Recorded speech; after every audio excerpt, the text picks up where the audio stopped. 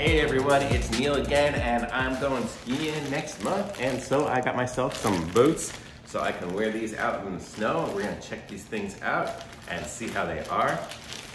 I got size um, nine men, so I usually wear like an eight and a half shoe. So this is what they look like here. I don't even know what brand these are, but I'll put a link to it in the description so you can get them for yourself. But you can see it kind of opens up a little bit on the side to make it easier to put on. And then when you do, you put the little rubber over it there. So just nice little booties, whatever to wear. So let's just try these things on. Um, I'll just put it on here. It's not gonna fit because it has this inside of it. So there we go, let's try it now. Whoa, those are comfortable. Don't even aim me down here. So this is what it looks like now. I'm wearing my uh, my jeans but I will be wearing snow pants. Oh, this one here has the plastic in it as well.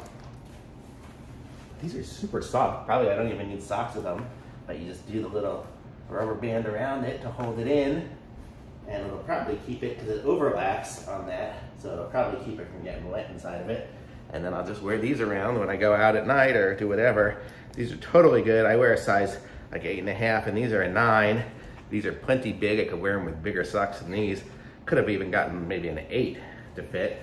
But let's see, see, but you can see here what I'm talking about as far as the overlap here when you put them on, this side goes over that one there. So as long as you're not stepping in a puddle, probably it's not gonna get snow or anything in there. So I like these, super inexpensive and they seem nice and durable enough. It seems like the bottom is made out of like the croc stuff, that plastic, and this is some kind of a whatever is nylon. So hopefully it'll be nice and waterproof and nice and comfy in the snow. So I like it. Thumbs up from me. I'll, uh, after I go skiing and stuff, I'll probably update the comments and let you know how they are, but seem good to me. Thumbs up, links in the description. Like this video, subscribe to my channel, and I'll be back with some other reviews soon. Thanks, bye.